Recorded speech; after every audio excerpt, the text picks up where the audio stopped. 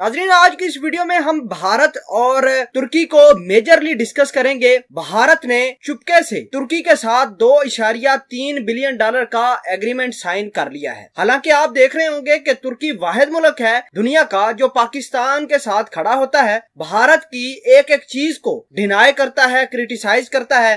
اور کشمیر کے اوپر جس طرح کا سٹانس طیب اردگان کا ہے، شاید پاکستان بھی اس کے برابر نہ آئے۔ کیونکہ ان کے پاس اکانومی زیادہ ہے، ان کے پاس ٹریڈ کی ٹائز زیادہ ہیں کمپنی زیادہ ہیں، اس وجہ سے اکانومیکلی ترکی پاکستان سے زیادہ بھارت کو نقصان پہنچا سکتا ہے۔ تو ایسا کیا ہوا کہ مودی سرکار نے ترکی کے ساتھ دو اشاریہ تین بلین ڈالر کی ایک ڈیل سائن کر لی اور پوری دنیا حیران ہے کہ آخر یہ ہوا کیا؟ بہرحال یہ ڈیل ہے کیا؟ کس طرح پاکستان کو نقصان پہنچائے گی؟ بھارت نے اس ڈیل ڈیل کے پیچھے کس طرح طیب اردگان کی کمر میں چھرا کھونپا ہے، یہ بھی ڈسکس کریں گے۔ چھوٹی سی گزارش ہے کہ ویڈیو کو لاسٹ تک ضرور دیکھیں تاکہ آپ کو اصل حقیقت کیا ہے۔ اس ویڈیو کے پیچھے، اس کہانی کے پیچھے اور مودی کی ڈیل کے پیچھے تمام تر چیزیں سمجھ آ سکے۔ ناظرین، آپ کو بتا دیں کہ جس طرح طیب اردگان نے پاکستان کی نیوی کے لیے دو شپ بنانے کا اعلان کیا تھا، ایک انکرا کے اندر بننا تھا اور ایک پاکستان کے اندر بننے والا تھا، جس کی ڈلیوری تقریباً ہو چکی ہے۔ انکرا والا جو جہاز تھا، جو ترکی نے خود پریپیئر کیا تھا پاکستان کی نیوی کے لیے، وہ پاکستان پہنچ چکا ہے اور جس کی ڈیولپمنٹ پاکستان میں ہونی ہے، وہ چل رہا ہے۔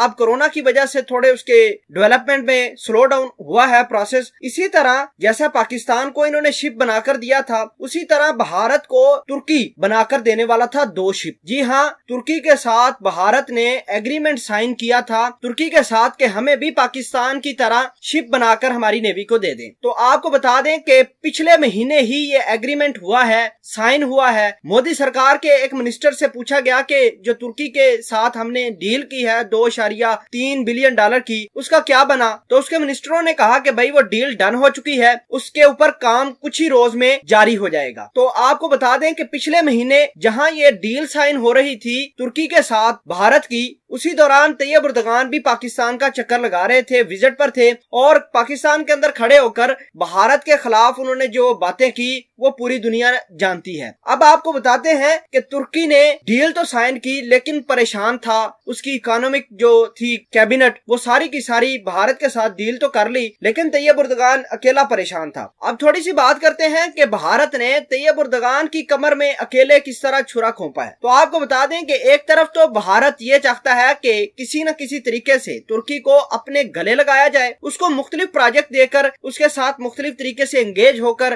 پاکستان کے ساتھ جو تعلقات ہے وہ خراب کروائے جائے اور مختلف قسم کا ان کے ساتھ ٹریڈ کیا جائے گا۔ دوسرے نمبر پر بھارت نے یہ کیا ہے کہ ارمینیا جو کہ ترکی کا بہت بڑا دشمن ہے، اس کو ہتھیار دیے ہیں۔ اب بھارت نے جو اسٹریٹجی اپنائی ہے، وہ بالکل امریکہ جیسی ہے۔ ایک تو دوست کو ہتھیار دینے ہیں اور دوسرے دوست کے دشمن کو ہتھیار دے کر دونوں کو آپس میں لڑوانا ہے۔ اسی طرح ترکی نے پہلے طیب اردگان کے ساتھ دو اشاریہ تین بلین ڈالر کا سودا کیا، بعد میں ارمینیا کو ہتھیار دے کر دونوں کو آپس میں لڑوانے کی کوشش کر رہا ہے۔ تو ناظرین، آپ کو پتا چل گیا ہوگا کہ بھارت کس طرح پیچھے گیم چلا رہا ہے۔ طیب اردگان اور پاکستان کے تعلقات کس طرح خراب کروا رہا ہے۔ پیسے دے کر اس کے ساتھ ڈیل کر کے دوسرے نمبر پر ارمینیا کو جو ہتھیار دیے ہیں، یہ پاکستان اور طیب اردگان کے لیے، طیب اردگان اور ارمینیا کے لیے بہت خطرناک ثابت ہو سکتے ہیں۔ دوستو، آخر میں آپ کو یہ بتا دیں کہ ارمینیا اور ترکی کے تعلقات ایسے ہی ہیں جیسے پاکستان اور بھارت کے ہیں۔ تو بھارت کنٹینیوسلی اپنے دوست یعنی ارمینیا کو اسلحہ بیچ رہا ہے، ترکی کو دوسری طرف سے نقصان پہنچانے کے لیے۔ تو اس